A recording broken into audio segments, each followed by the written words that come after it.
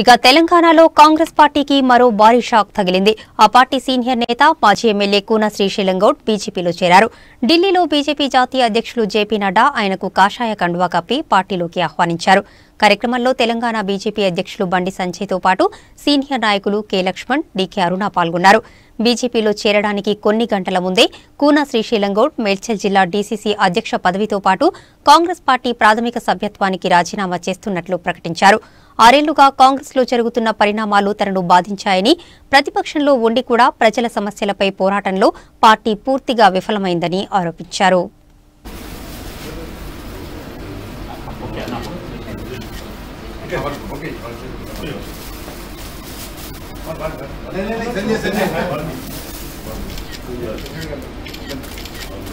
అసలు ప్రజల పక్షాన పని చేసిన దాఖలాలు లేవు. గాంధీ భవన్లోనే కూర్చొని వీళ్ళు ప్రెస్ మీట్లు పెట్టడం. ఎట్లయితే కరోనా వచ్చినాక మరి జూమ్ యాప్లలో మీటింగ్లు పెడుతుర్రో అదే పద్ధతిలో కరోనా కన్నా ముందు కూడా జూమ్ యాప్ పద్ధతులే కాంగ్రెస్ పార్టీ నడిపించారు మరి మొన్నటికి మొన్న ఉత్తమ్ కుమార్ రెడ్డి గారు రాజీనామా చేస్తే మరి ఆ రాజీనామా ప్లేస్లో కొత్త ప్రెసిడెంట్ పెట్టాలి. మరి ఆ ప్రెసిడెంట్ పెట్టకుండా ఇంకా కాలయాపనం చేస్తుంటే దుబాక ఎలక్షన్స్ వచ్చినాయి. దుబాకలో కూడా ప్రజలు గమనించారు కాంగ్రెస్ పార్టీ పోరాడే స్థాయిలో లేదు. బీజేపీ అయితేనే టీఆర్ఎస్ ప్రత్యామ్నాయం. టీఆర్ఎస్ చేస్తున్న ప్రజా వ్యతిరేక విధానాలకు బీజేపీ ప్రత్యామ్నాయ మార్గం అన్న ఒక ఆలోచనతోని దుబాకలో కూడా బీజేపీని గెలిపించడం జరిగింది. మరి కాంగ్రెస్ హైకమాండ్ అందరూ కూడా దుబాక్ ఎన్నికల్లో మొత్తం రాష్ట్ర స్థాయికి గల్లీ స్థాయి దాకా నాయకులు దించారు అయినా ఆడ థర్డ్ ప్లేస్కి వచ్చేసింది.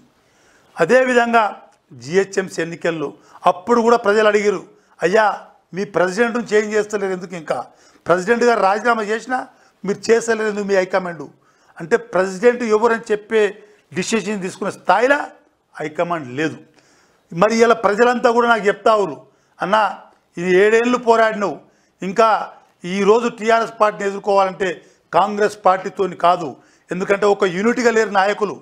అందుకే ఇవాళ కుత్బుల్లాపూర్ కాన్స్టిట్యున్సీ ప్రజలు మొన్న కార్పొరేటర్ ఎలక్షన్లో మరి పరిస్థితి చూసుకోరు అన్న కాంగ్రెస్ పార్టీ అంటే ఓటేసే పరిస్థితి లేరు మరి అందుకే మరి ప్రజలంతా కూడా బీజేపీ పార్టీలో కలవాలన్న మనం చెప్పడం జరిగింది.